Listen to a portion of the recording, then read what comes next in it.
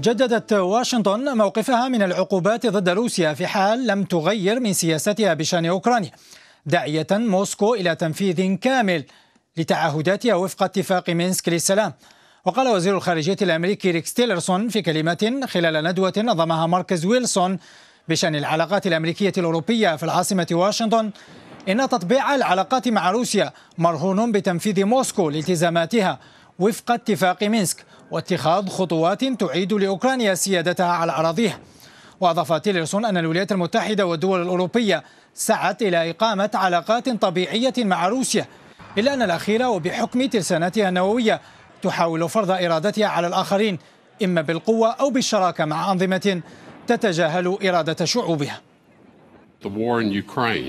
إن الحرب في أوكرانيا التي لا يزال الناس يموتون فيها كل يوم يجب أن تنتهي. لقد ذكرنا مرارا روسيا بضرورة تنفيذ اتفاقات مينسك ولا تقبل الولايات المتحدة أي خيارات أخرى باستثناء أن تكون أوكرانيا دولة مستقلة وذات سيادة. ولن نتسامح مع التجاهل الصارخ لقواعد القانون الدولي. وستظل العقوبات سارية المفعول حتى تفي موسكو بالتزاماتها بموجب اتفاق مينسك.